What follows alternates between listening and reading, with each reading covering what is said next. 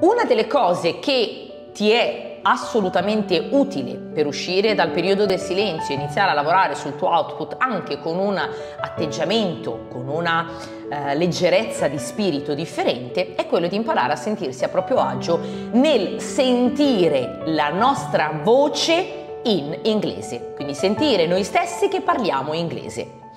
Questo è un punto fondamentale perché va a risolvere una serie di questioni come per esempio la vergogna, l'imbarazzo, il senso di inadeguatezza, che sono tutte delle sensazioni ovviamente abbastanza scontate o comunque comuni che possiamo percepire nel momento in cui iniziamo a parlare una lingua che non è la nostra. Quindi questo è un ottimo spunto per iniziare a sentirci, a estendere la nostra zona di comfort. Al momento quando parlo in inglese a voce alta mi sento fuori dalla mia zona di comfort, benissimo, estendiamola. E la prima cosa che tu puoi fare è iniziare a parlare da solo a voce alta.